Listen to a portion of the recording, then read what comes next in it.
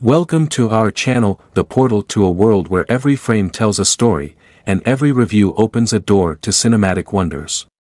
Get ready to immerse yourself in the captivating universe of films, where a passionate team of cinephiles will guide you through a myriad of emotions, from laughter to tears, as we uncover the magic that makes movies unforgettable, Today we are going to watch a movie review about Venom 3, Tom Hardy shares behind-the-scenes photo from the set of Venom 3 confirming production has begun with a connection to Spider-Man.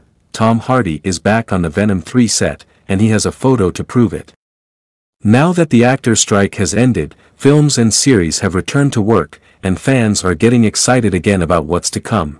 Kelly Marcel, who wrote and produced the first two Venom films, is directing this third one from a screenplay she wrote.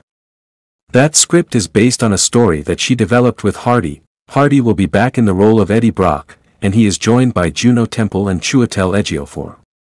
It's been rumored that Ejiofor will be taking on the role of a character named Orwell Taylor. The second film, Venom, Let There Be Carnage, ended with Eddie Brock stranded on the MCU's Earth, 616, leaving fans excited about the prospect of him appearing in Tom Holland's Spider-Man, No Way Home. Instead, Venom only appeared in the post-credit scene, revealing that Eddie Brock remained in Mexico, and he left a piece of the symbiote behind.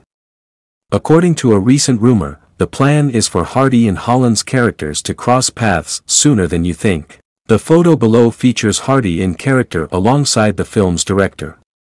You may notice he is wearing the same clothes Eddie had on in Spider-Man, No Way Home. Does this mean we'll see what happened on Earth 616 or do we just pick up immediately after he's sent back to his own reality? I guess we will just have to wait and see.